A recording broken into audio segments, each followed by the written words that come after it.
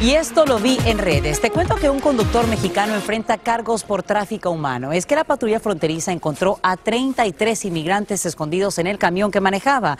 Autoridades dicen que al interior del vehículo la temperatura era superior a los 100 grados Fahrenheit.